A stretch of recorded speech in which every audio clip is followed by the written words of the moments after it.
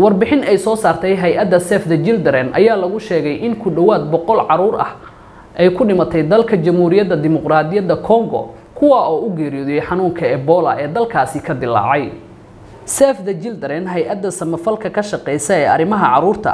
ayaa ka digaysa in haddii aan si deg deg ah wax looga qaban xanuunkaasi uu sii fidi doono ilaa iyo sanadna ay qaadan doonto la tacaalidda cudurkaasi waxaana soconaya dadaallo xoogan oo looga hortegayo fiditaanka cudurkaasi oo mar labaad dib ugu dilaacay dalka jamhuuriyadda dimuqraadiyadda ee congo dalka congo ayaa la sheegay in guud ahaan tirada dhimashada ay gaarayso ilaa iyo shan boqol oo qof oo la xaqiijiyey in cudurka ebola ay u dhinteen. Wararka ay soo saartay hay'adda sef the children ee ka shaqeysa arrimaha carruurta ee adduunka ayaa sidoo kale lagu sheegay in mid ka mid ah shantii qofba uu qabo cudurka ebola kaasina ay tahay halista ugu weyn ee dalka congo uu ku jiro waqtigan.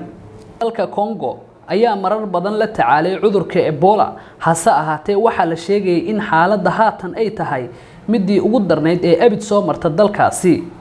Dhanka kale waxaa baqdin weyn laga qabaa maleeshiyaadka ka dagaalama jamhuuriyadda dimuqraadiyadda congo kuwaas oo is-hortaag ku samayn kara dhaqaatiirta u imaanaysa dalka congo in ay la tacaalaan cudurka dib ugu dilaacay ee ebola kaasi oo waqtigani congo ay ugu jirto halis